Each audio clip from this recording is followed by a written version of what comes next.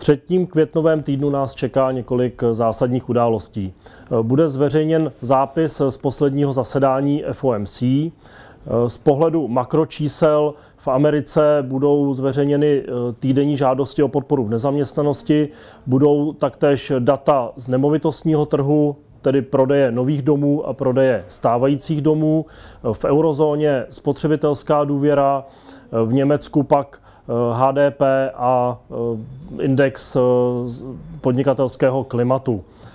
Dobíhá i výsledková sezóna, bude reportovat řada firm. Za zmínku stojí zcela jistě mm, firma Vodafone, Best Buy, Home Depot, Target, a v neposlední řadě i technologická firma Hewlett Packard.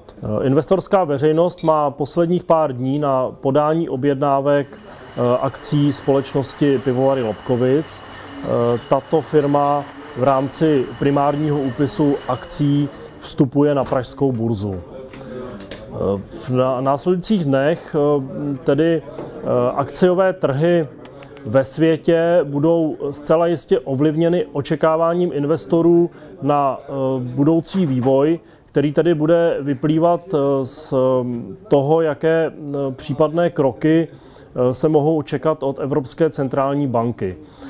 V tuto chvíli jsou akciové trhy u svých historických maxim a mají tendenci se odrážet dolů, přičemž bude důležité tedy zasedání, které je stanoveno na začátek následujícího měsíce.